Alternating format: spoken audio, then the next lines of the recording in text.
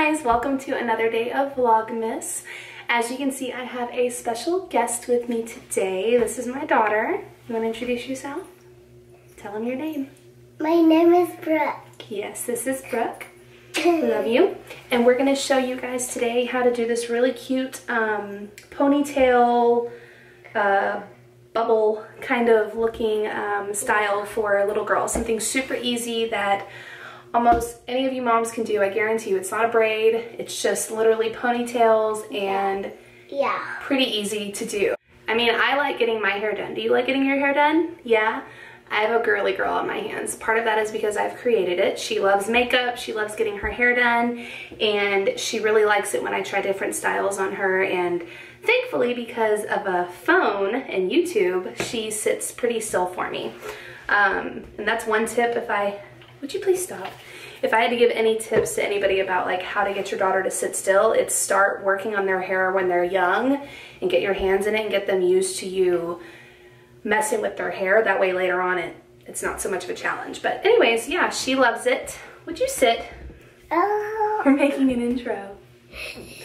So be sure to give this video a thumbs up if you moms enjoyed it or if you just found it helpful and maybe you tried it on yourself. So here we go. To start off this hairstyle, you're going to need some elastics. I use the clear ones. You can use colored ones as well. And this little topsy tail um, thing that I picked up, I'll be sure to link it below. We're going to start with three ponytails. One there, one in the middle, and then one at the very bottom.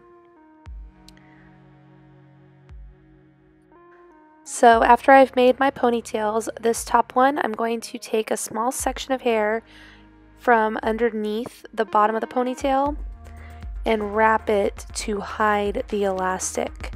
So this is how I hide the elastics when I'm doing these ponytails.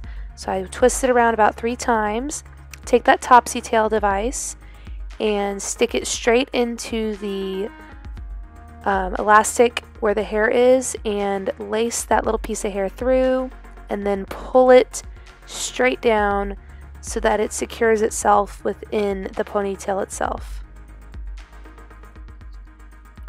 Now I'm going to take another clear elastic and I am going to secure the top ponytail with this middle ponytail.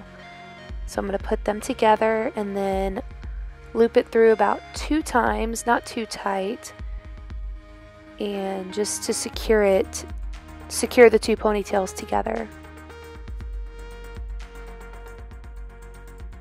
So I'm then going to just go ahead and start fluffing this little piece or section of hair into a bubble. So just kind of pulling gently out and kind of around to create a little bubble effect. And then again, I'm going to take a small section of hair from underneath, just like I did with the top one, very small, and wrap it around to hide the elastic. So again, wrap it around just about three times until the elastic's covered, and that's when I stop. And take that topsy tail, stick it into the ponytail itself where the hair lies, and again, loop that little piece of hair through and then pull straight down and it secures it really nicely without needing to use any bobby pins.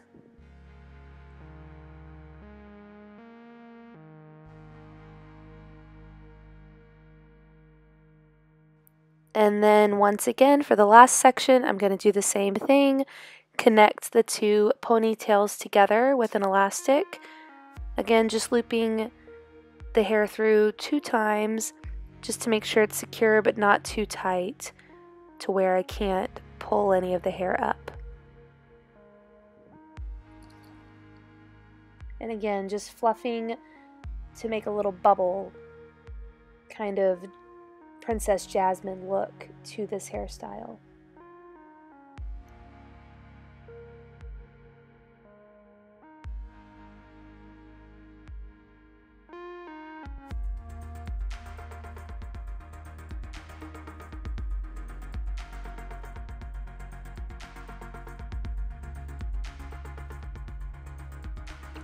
And then, of course, finishing off by repeating the steps I did before, where I take a small section of hair, loop it around, and hide that elastic really good using that topsy tail.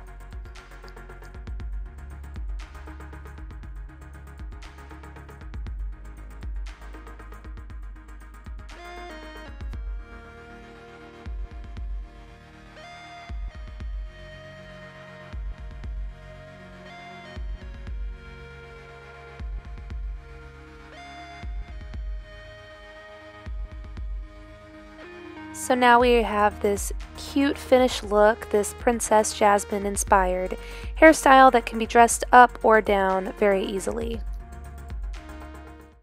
I just realized I did not film a exit video for you guys, but that is it for today's video. Hope that little tutorial helped y'all. We went to church with my mom. She surprised us by coming over and inviting us, so we went ahead and just rounded everything up and left and went to that and enjoyed our Christmas Eve service tonight a little early. But anyways, happy holidays, and I'll see y'all tomorrow.